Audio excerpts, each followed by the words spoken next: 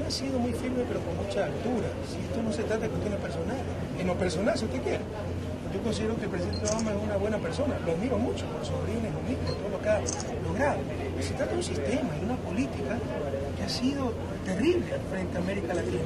Y una visión también, de la cual no ha podido escapar el presidente Obama sus intervenciones, lo ha dejado claro creerse superiores, más de mal. Si tienen algún problema, vengan a hablar con nosotros. Nosotros seguiremos diciendo las cosas que creemos mal. O sea, que falta respeto.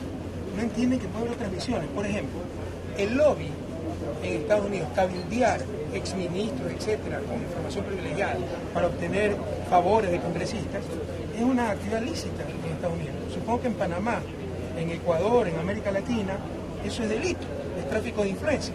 Pero yo no, por eso no voy a decir que el presidente Obama es un corrupto y que el pueblo, eh, Estados Unidos es un país corrompido y que tenemos que invadirlo y denunciarlo. Tenemos que respetarlo. Eso no se entiende. En todo caso, le insisto, o sea, la presencia en Latinoamérica ha sido más firme, soberana, digna que nunca. Algunos pueblos dicen que se necesita una reunión de los países del ALBA urgentemente. ¿Eso se va a dar? Bueno, permanentemente estamos en contacto. En esta cumbre no nos reunimos, pero como que si nos hubiéramos reunido, porque fueron muy articuladas las intervenciones, pero créanme, no hubo ninguna coordinación previa. Muchas gracias. Gracias a ustedes y muchas gracias, a Panamá. Y felicitaciones, felicitaciones al gobierno panameño. Ha sido una cumbre muy organizada, muy linda. Ayer fue un espectáculo realmente hermoso. ¿Le ha gustado Panamá? Eh, sí, no había tenido oportunidad de visitarla detenidamente a Ciudad de Panamá, no, pero es una ciudad antigua preciosa. Y el espectáculo que nos presentaron maravilloso. Muchísimas gracias.